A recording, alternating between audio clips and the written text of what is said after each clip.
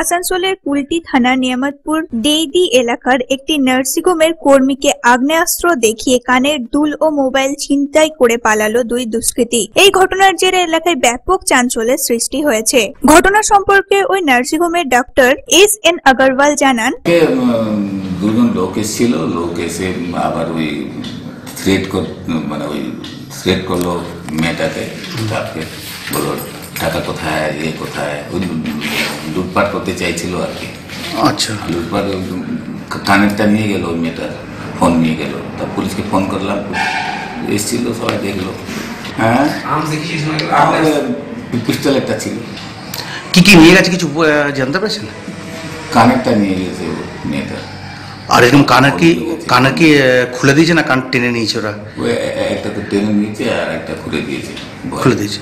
তা আপনার কি এখানে এত সিসিটিভি আছে?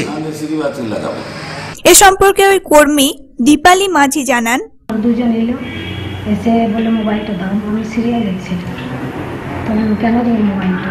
আমি কেন বলছি তখন একজন পিস্তল বার করল একজন আমার কাছে আমার সাইডে দাঁড়াল তারপর একটা কানে কেড়ে নিল তখন মোবাইলটা খুলে দিল। ওটা কি আপনাকে মারধর কিছু করেছে। ওরা কিছু পিস্তল টিস্তল দেখে হ্যাঁ।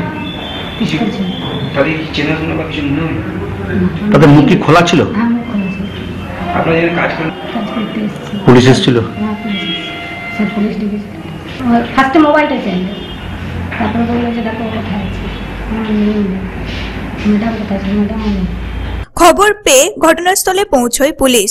আসেন এডিসিপি ওয়েস্ট অনামিত্র দাস। যদিও হাসপাতালে কোনো সিসিটিভি নেই, দুষ্কৃতীদের খোঁজে তল্লাশি চালাচ্ছে পুলিশ। আসানসোল থেকে সন্তোষ মন্ডলের রিপোর্ট, পাবলিক টাইমস।